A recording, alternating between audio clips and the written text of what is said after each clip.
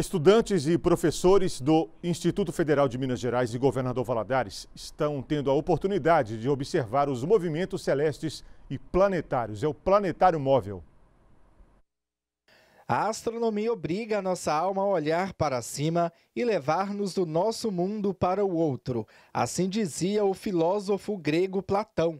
E é essa experiência que alunos do IFMG o Instituto Federal de Minas Gerais em Governador Valadares estão tendo.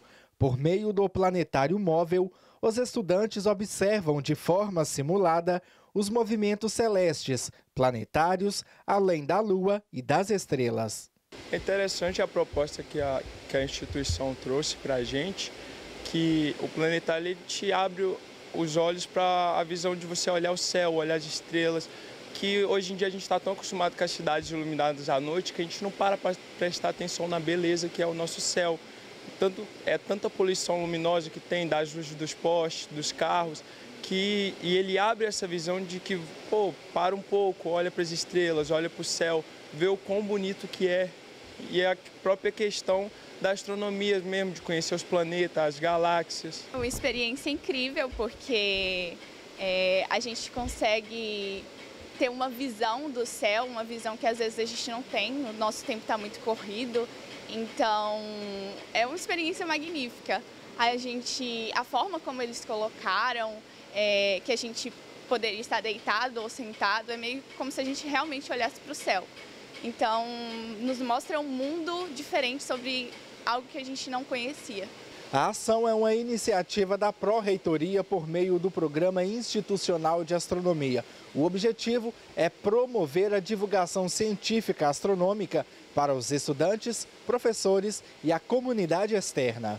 O diretor de extensão do IFMG explica que o planetário móvel é uma experiência para os estudantes da instituição e também para o público externo.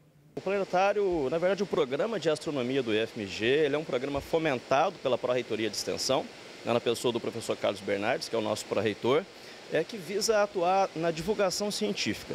No ano passado, a ProEx, né, que é a Pró-Reitoria de Extensão, adquiriu 14 telescópios para que todas as nossas unidades pudessem ter um equipamento desse. E a novidade desse ano é a aquisição do planetário móvel, que está fazendo aí uma primeira rodada em todos os campi, para que as pessoas possam conhecê-lo né, e até novos alunos possam participar desse projeto.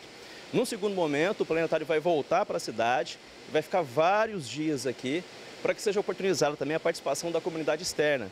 Então nós queremos trazer as escolas da cidade para o campus, nós queremos levar o campus do FMG também para as escolas e para a comunidade de uma forma geral. Ainda segundo o diretor, a ideia é montar um cronograma e apresentar o projeto para as unidades escolares de Governador Valadares. Nós vamos criar um, um, um cronograma aí para que todos possam aderir, né? entrar em contato com o campus, com os professores, com a direção do campus, aqueles que têm interesse, para que eles possam participar, para que eles possam nos visitar e também para que a gente possa participar de eventos de forma geral que acontecem pela cidade. Outra proposta da iniciativa é entender como o planetário funciona. Esse integrante do Programa Institucional de Astronomia ressalta que o projeto já existe em outros campi. Nosso objetivo com esse programa é justamente fazer a divulgação de astronomia para estudantes e também para a comunidade externa. Né? Esse programa ele surgiu a partir da iniciativa do professor Bruno, de, do campus Itabirito, e a ideia era fazer um programa intercâmbio, ou seja, que juntasse todos os campi do nosso instituto para fazer um projeto de extensão em astronomia.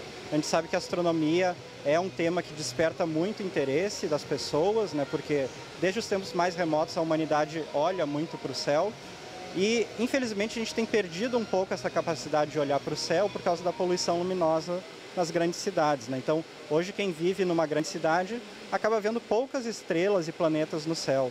Quem vai para um lugar mais afastado, com menos luz, a roça, por exemplo, consegue ver muito melhor.